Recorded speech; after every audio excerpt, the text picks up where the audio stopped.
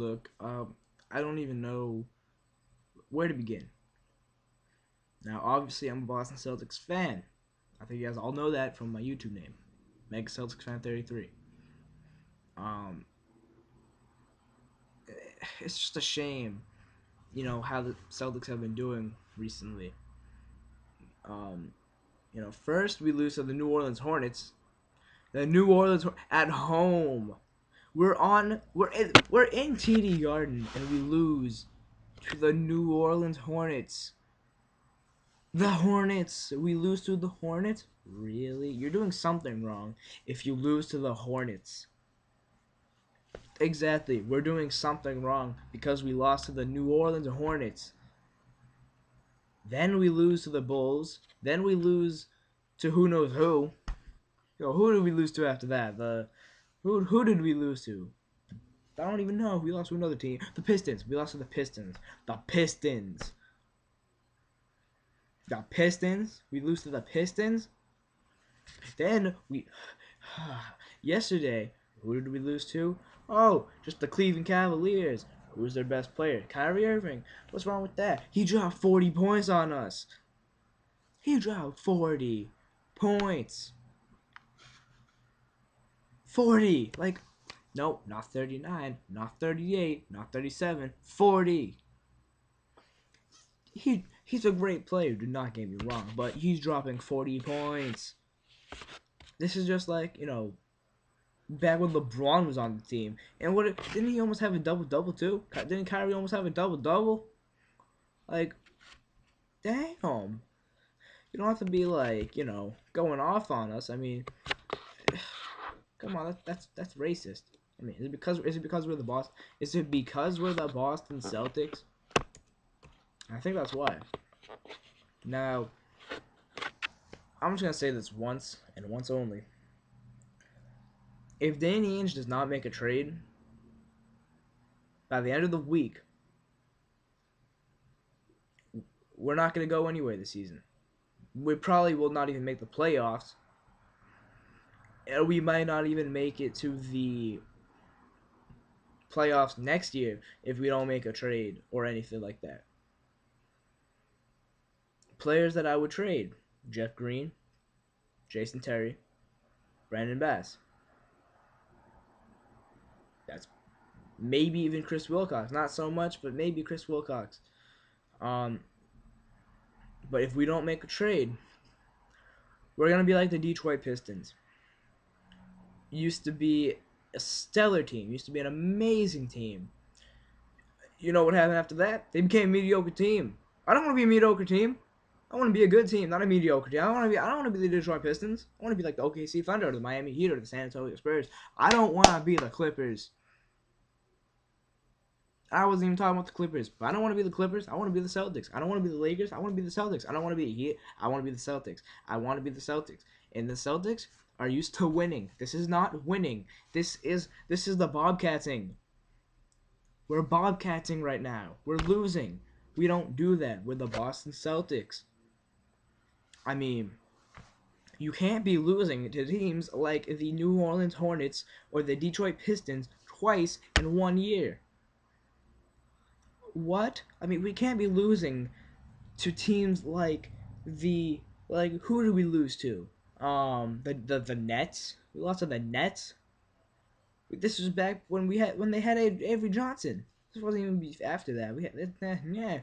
I lost to the Bucks twice, and one of them we had a 17 point lead. How did we lose that game? I don't know.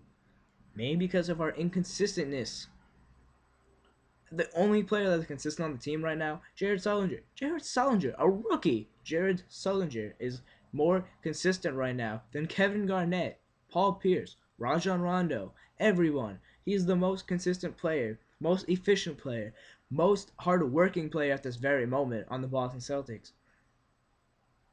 Really? Really? Really? Really? He's the most consistent player on the team. It's not even like I would have expected it to be Paul Pierce or Jason Terry, maybe even KG. No, it's Jared Sullinger. Who's the second most consistent player? I don't even know. They're all inconsistent. Maybe even Rajon Rondo is. Who knows? The only player that's consistent is Jared Sullinger. And I mean, it's what is this? I mean, this is not Boston Celtics basketball. Like I said before, this we're, we're playing like the Charlotte Bobcats. We're playing like the 06 Boston Celtics. Now, I've been a Boston Celtics fan. I've always been a Celtics fan, but I never really watched a basketball until 2006. And that was the year that the Boston Celtics did absolutely terrible. I think we were the worst team in the Eastern Conference that year. And then we uh, got Kevin Garnett and Ray Allen. Then we won the championship the next year. That was great, but I couldn't watch the finals because I was all the way in Lebanon. Oh, and that reminds me. Whatever happened to Darko Milicic? He went all the way to Europe, or Turkey, or Spain. I don't know. Isn't Turkey in Europe? I don't know, but he went to Europe. And who were we left with? Hmm, Jason Collins. And how did Jason Collins get on the team? Oh, because he was he released by the Atlanta Hawks and signed by the Boston Celtics. And you know, that reminds me. What did happen to Keyon Dooling? Oh, wait a minute. He retired. Why did he retire? Oh, yeah, because we had to release him to make room for Jason Collins? Really? That's the stupidest thing I have ever heard. For Jason Collins, we released Keyon. At least release someone that's not valuable to the team. Or don't sign a non valuable player, aka Jason Collins we still have two roster spots open on the team. But nope, we don't want to make a move. I don't know what this is. I don't know if this is like. What is this? Stupid note. I don't know what this is.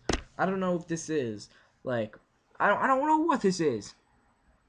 But if we don't make a move, if we don't play with more intensity, we have KG and we're not playing with any intensity? Really? This is just like the Ravens not playing intense with Ray Lewis on the team. It's just like that. Just like that. What is this? I mean, it makes no sense. Makes no sense how this works. Does not. It makes no sense. Makes no sense. Look, I don't even want to oh my god, I don't even want to get into this conversation, but I have to because we're playing terrible. Look, I don't want to make this video too long, too too long, but if we don't make a trade or if we lose, we lose. If we lose next game, I don't know who we're facing. I think we're facing the Knicks. I don't know who we're facing, but we're facing the team. And if they don't win against that team, you better expect another ranting video because I'm I'm sick and tired of this. I've not seen a worse team since 2006, and this is just. And we had a good team. I thought we had. I thought we were gonna have a good team. Nope, absolutely mediocre. You better turn this around. I'm still gonna be a fan. You know, I'm not threatening to not be a fan anymore. But you better turn this around if you even want to win a championship in the next like eight years. Well, that's it for my ranting video. Hope you guys enjoyed it.